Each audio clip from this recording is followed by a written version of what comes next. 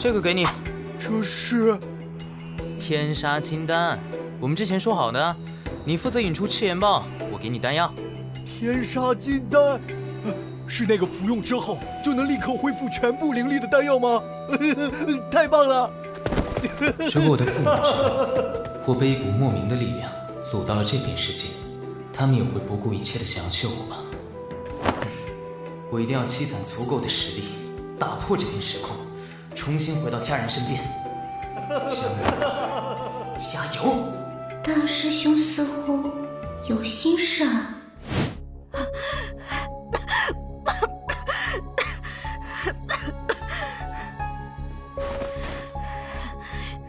该死的！没想到江鱼儿那家伙竟然还真成了气候了，我一定要想办法杀了他，绝不能让他成为大师兄的绊脚石。师兄，你没事吧？没事，师妹。对不起，师妹，让你受委屈了。你的伤势不要紧吧？我没事的，大师兄。哼，我这次被江鱼儿伤了根本，只能把你吃干抹净，才能恢复根基了。哼，你和你师傅对我都没安好心，以为我不知道。我这次就趁你病要你命。把你直接吸干净，师妹，师兄，呵，居然是沐晨刚，太好了，正好让他们帮我护法，我好疗伤。你们两个，四长老，原来，原来刚刚是四长老救了我们，多谢四长老救命之恩。行了，不用客套了。该死的，这老女人怎么会在这个时候出现？有她在。我想要把沐晨刚吸干，恐怕没那么容易了。我受伤了，你们两个帮我护法，我要疗伤。四四长老，您竟然受伤了，是江鱼儿干的吗？嗯，不该问的别问。知知道了。没想到连番子都败在了江鱼儿手中，就算我将林雨吸干，恐怕也不是江鱼儿的对手啊。不过，若是我能将四长老吞了。师兄，以江鱼儿的天赋，我们修炼一辈子恐怕也追不上。如今四长老重伤，我们……哦，原来你也是这么想的。四长老是金丹强者，一会儿我们一起出手，直接趁他疗伤的时候击碎他的金丹，他定然不会有还手之力，然后我们就可以一起吸收。好，吸掉番子之后，我就有了强行把师傅也吸干的能力。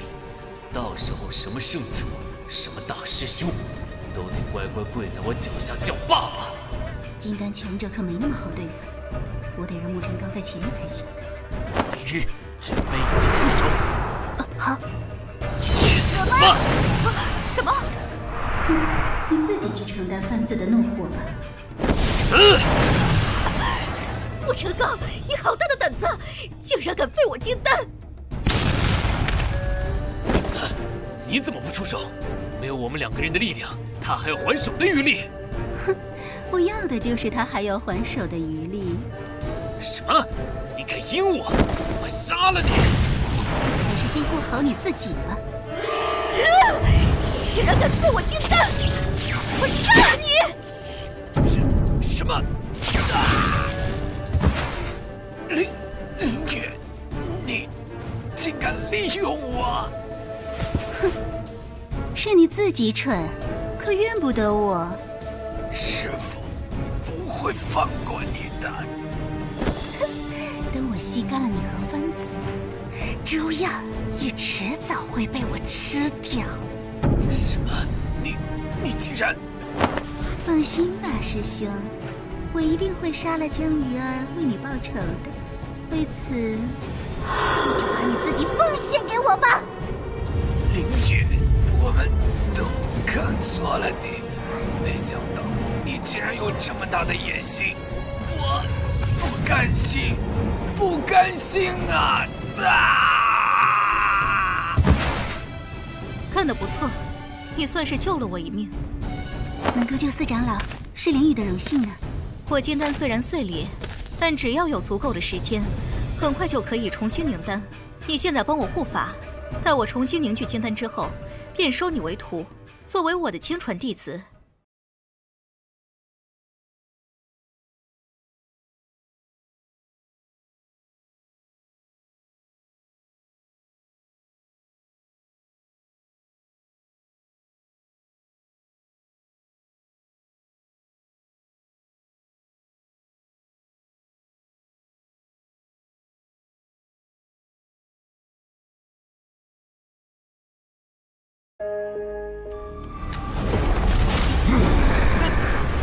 我都躲到八层地下室了，这也能被找到？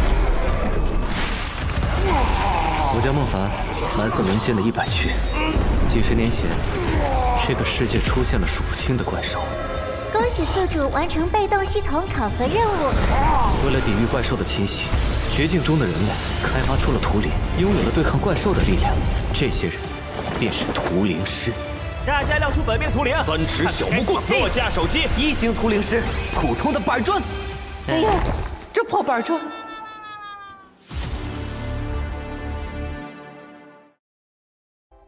圣玄宗五年一次的考核正式开始。一个连圣玄宗的门都入不了的人，竟然敢不崇拜我家王腾？白墨淘汰，下一个。系统，使用一次顿悟机会。第五层料了。身为魔主亲子，纵然第五层又如何？我圣玄宗不收。那就继续。真的，你让他九层六去了。呃，好饿啊！谁能给我送点吃的？我要吃了你！人类，借你小命一样！嗯，不，不可能！你和凡人无异。不不，饶我一命！接下来就让我见识一下无敌剑域到底有多强吧！来！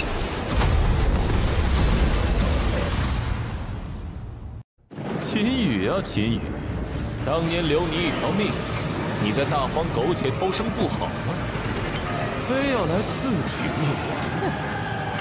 赵殿，李清河，秦家血仇，今日必将让你二人血债血偿。秦云，你你的修为？不可能，他明明已经经脉尽碎，成为废人，怎么会？让我见证一下你的能耐吧，秦羽。